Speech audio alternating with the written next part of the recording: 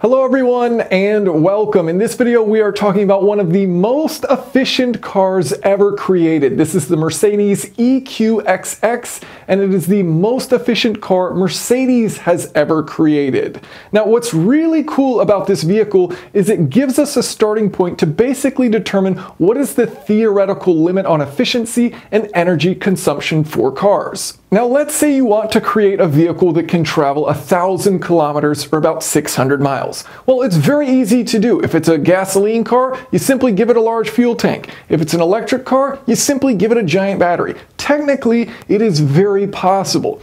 But what if you want to do that as efficiently as possible? So if you look at today's cars, a 100 kilowatt hour battery pack is good for about 300 miles or about 500 kilometers. So Mercedes set out to double this. In other words, take that same 100 kilowatt hour battery pack, but instead of traveling 500 kilometers, travel 1,000 kilometers. Okay, so if we're to translate Mercedes' goal into an energy consumption number, what they are targeting is 10 kilowatt hours per 100 kilometers driven. And so if you're from the US and you're like, what the heck does that mean? Basically what they're talking about is about 209 miles per gallon equivalent. Miles per gallon is a terrible unit, so we're going to try to avoid using it in this video, but we're going to be looking at five different aspects of the car that help create this consumption number and what those specific numbers are for Mercedes in each of these five categories. Alright, so to set the mood, we're going to start off with this beautiful plot right here. And what we're focusing on is this purple line. So what does this purple line show us? Well, it shows us at any given constant vehicle speed while traveling on flat ground, what is our Mercedes EQXX energy consumption in kilowatt hours per 100 kilometers. For example, if we are traveling 10 kilometers per hour, we can see that our energy consumption is about 5 kilowatt hours per 100 kilometers. So you might wonder, okay, well, why does this have the shape that it has? So if you think about, if you're sitting at a stoplight, you've got your screen on, maybe you've got a fan on, you've got music on, you're consuming energy, but you're not moving. So your relative energy consumption is very high. Uh, it's basically infinite if you're not moving. And then that as you start to move, the importance of that screen being on is very little if you're traveling at a high speed. But as you get to higher speeds, then you start to run into aerodynamic drag as a problem. So it gives you this shape here where your floor is made up of rolling resistance. It's not a perfect line, but for the purposes of this video, that's fine. So for this Mercedes EQXX, what they're doing is trying to optimize a car for efficiency within this range right here at higher speeds. They want a high speed efficient vehicle. In other words, they want it to be efficient on the highway. Now, that doesn't mean that if it were to drive slower, it wouldn't get better efficiency. It would. It would get better fuel economy, better energy consumption, if they were to drive slower, but they're optimizing it for driving on the highway. So we'll talk about what that means a bit later, but know that this is what it's optimized for. If you were to design a vehicle that was always going to be driving at a lower speed, you would do things differently. But we live in the real world, we want to drive in the real world at real world speeds, so that's what they're designing it for. So for the speeds that Mercedes is targeting, aerodynamics makes up 62% of the overall energy consumed. So if you look at the equation for aerodynamic drag, well, you can look at what are the variables that I can mess around with in order to improve aerodynamics. And there's only two that you really can control from a design standpoint, your drag coefficient and the frontal area. So as far as the drag coefficient, basically what you're doing is, you know a human has to sit in that car, right? So you take a 5 to 95% human, you put them within a space, and then you try and design a car around that space uh, so that the human can fit and you have a really aerodynamic shape around them that also looks like a car. Part of the requirement is it needs to look like a car. So if you look at cars like the Mercedes EQS, which is a production car, and when it came out, it was the most aerodynamic vehicle from a drag coefficient standpoint, lowest drag coefficient of just 0.20. That's exceptionally good. I mean, we're getting towards the bottom of what is possible with production cars. A Penguin uh, has a drag coefficient of just 0.05. You know, so we could be driving Penguins. Maybe we should be driving Penguins, but we're not. Uh, we're driving cars. And so this number, this drag coefficient for the EQXX is 0.17, which is better than the best production car. Um, there's some there's some disclaimers that go along with this. First of all, there's a diffuser that retracts out from the back of the vehicle. That gives you a point, so that takes you down from 0.18 down to 0.17. Also, this 0.17 is with the cooling shutters closed. So there's some outlets, some exhaust vents on the hood of the car. Uh, if this is actually opened and you're allowing airflow through the front of the car with the shutters, then that's giving you an additional 0.007 to your drag coefficient. So with both of those, that's putting you closer to 0.19. Mercedes says that if you get to a drag coefficient of around 0.16, well, then it stops looking like a car. One example uh, is, you know, Mercedes said they could have gotten down to 0.16, but they would have had to cover the rear wheels. And they didn't want to cover the rear wheels because it's ugly. I mean, a lot of us agree. So it is possible that you can get below a number like 0.2, uh, but it starts to look less and less like a car. And honestly, if you look at the EQS, you know, at 0.2, it's like, does that thing look like a car? I guess kind of. Uh, but the point is, you get towards a limit, right? And Mercedes says that limit's 0.16 uh, unless you start covering the wheels. And realistically, you know, that's with some things happening there uh, that are kind of hard to achieve with a production car. So we're towards the limit when it comes to drag coefficient. Okay, so the next aerodynamic variable we can play with is the frontal area. And what I like about this is that they kept it realistic. So the EQXX has a frontal area of 2.12 meters squared. Uh, you can compare that to vehicles like the Prius or Tesla Model 3, which have frontal areas of about 2.2 meters squared. So while this is on the low end of like a mid-size sedan, uh, it's basically the smallest practical size. There are vehicles out there with smaller uh, frontal areas, for example, the old Honda Insight or a smart car, uh, but there's a reason why all of us aren't driving smart cars, right? There's a practical element to having a larger sedan, uh, so they're trying to keep it within the realm of practicality, and we have this frontal area of 2.12 meters squared. All right, so if we move on to weight, Mercedes says this makes up about 20% of the overall energy consumption. And so once again, if we go to our equation for, you know, how much energy is being lost from weight and what variables can we control, well, we can control the mass of the vehicle and the tires we select. So the mass of this vehicle uh, is 1,755 kilograms which isn't all that light of a vehicle, but compared to Mercedes electric car, the EQS, uh, that's coming in at about 2,500 kilograms. So it is significantly lighter. Now, as you know, the battery makes up a significant percentage of the overall weight of an electric car. So it is very interesting to analyze the battery in this vehicle. So here I've got an example of a production Mercedes, the EQS.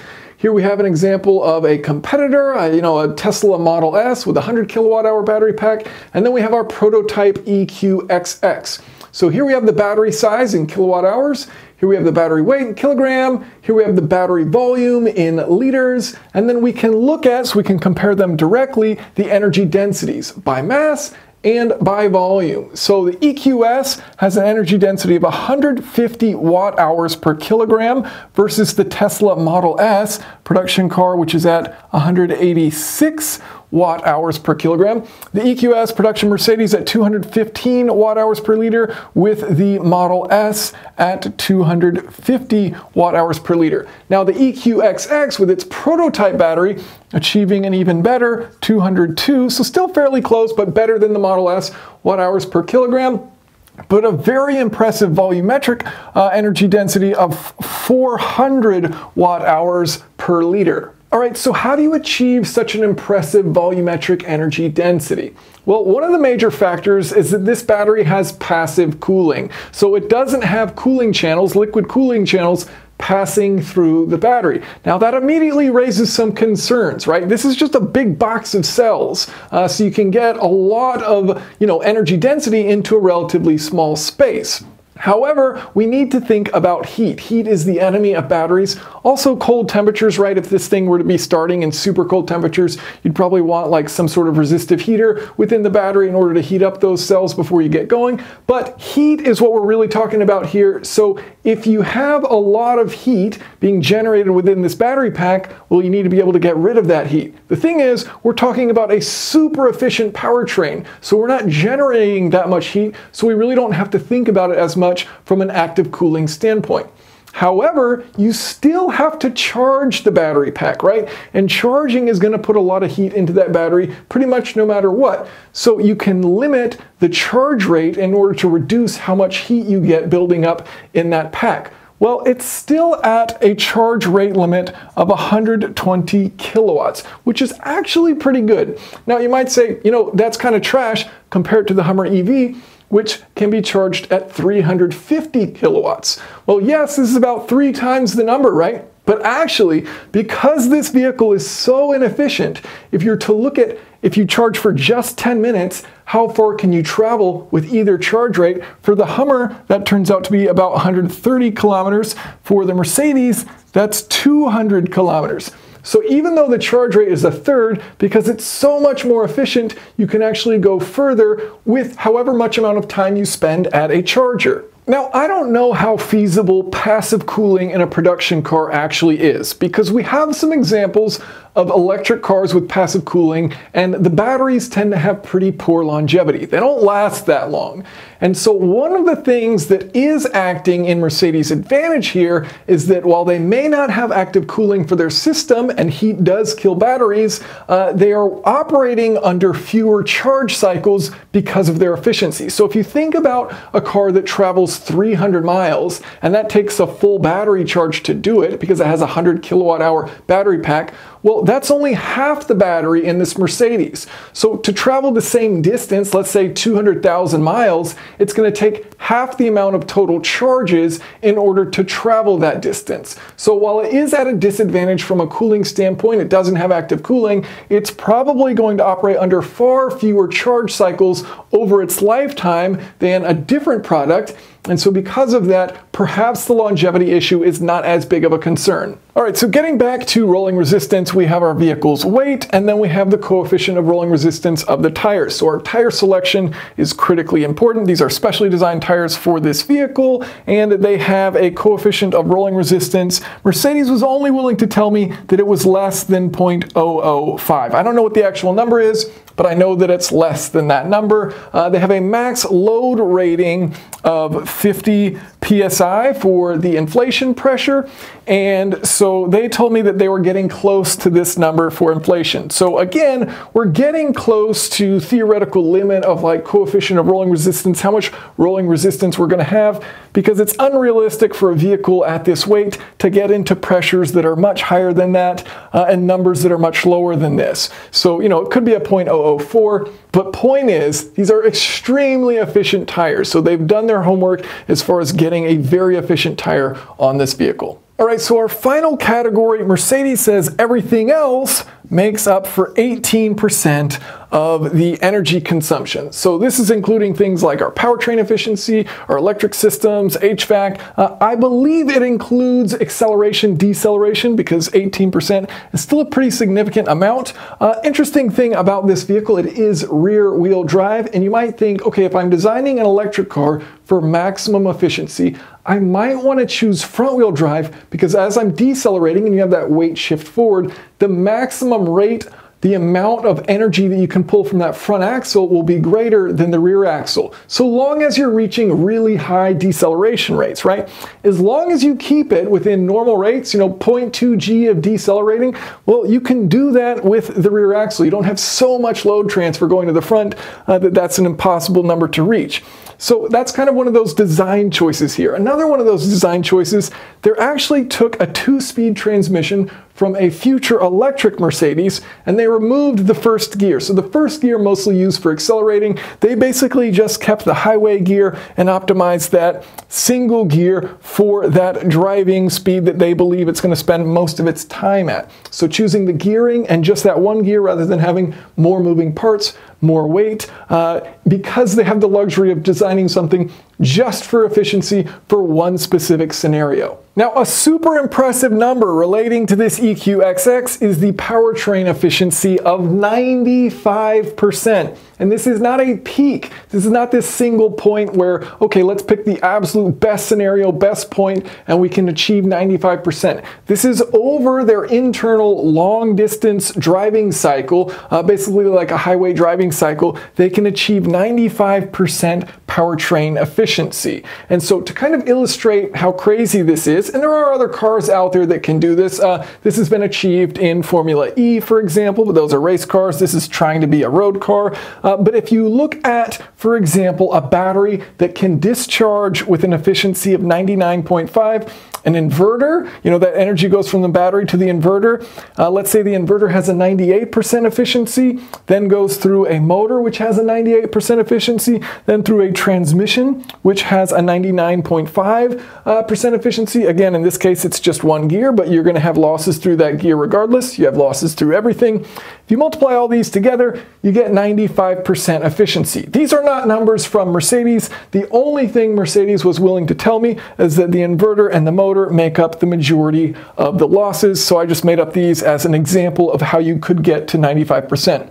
But what this really illustrates is how close this is to the limit. Because you know think about how much does it take to improve this just a little bit uh, and is it worth that financially right? Like these are really good numbers and if it takes a lot of money to increase that 99.5 to 99.6 it's like was that worth doing? So again we're getting towards the theoretical limit on efficiency when we're talking about powertrains uh, in the realm of 95 percent now, before we get into the juicy finale on theoretical limits, I think it's cool to look at existing technology in comparison to what Mercedes is seeking to achieve. So they set out to achieve 10 kilowatt hours per 100 kilometers. According to the EPA, the best efficiency we've ever seen in a production car sold in the United States is the Tesla Model 3 Standard Range Plus, which achieved about 15 kilowatt hours per 100 kilometers. So we still have a significant jump between that and this Mercedes, uh, or about 142 mile per gallon equivalent.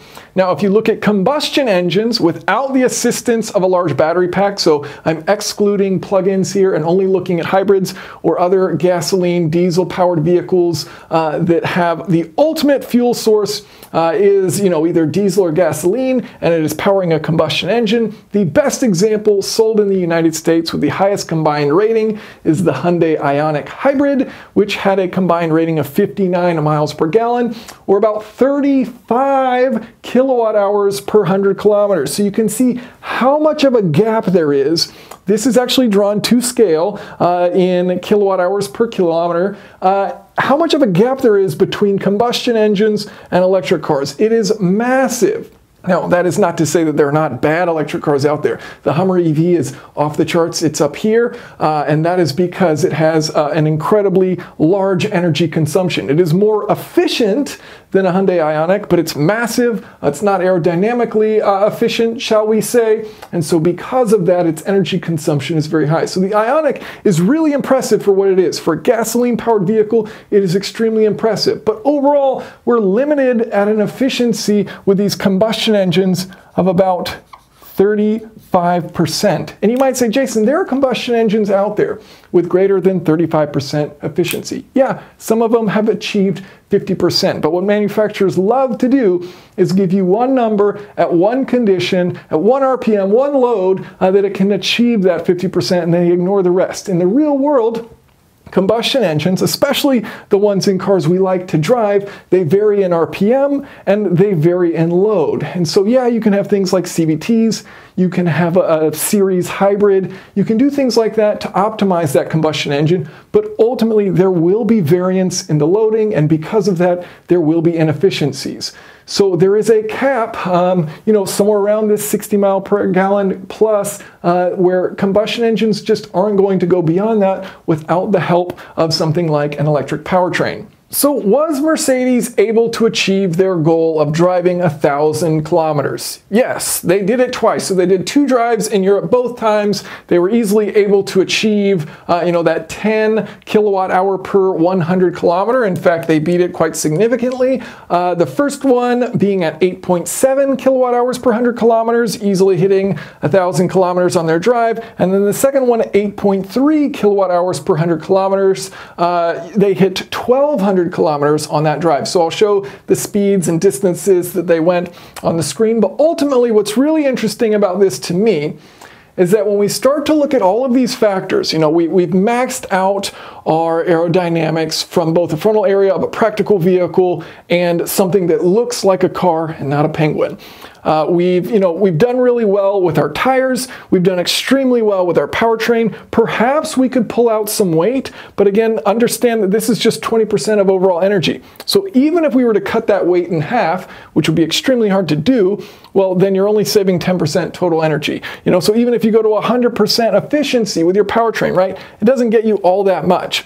So if you start to look at these numbers here, it kind of tells you that a real world, realistic efficiency cap, the theoretical limit that we're not going to go beyond, is about 8 kilowatt hours per 100 kilometers, or the equivalent, uh, those of you in America, of about 260 miles per gallon. And you can see, you know, compared to the technology we have today in production cars, we're at 142. So yes, we have room for improvement, um, but it's not going to go to some insane level. You know, there's that 15 versus this 8. Maybe we can get, you know, half of that.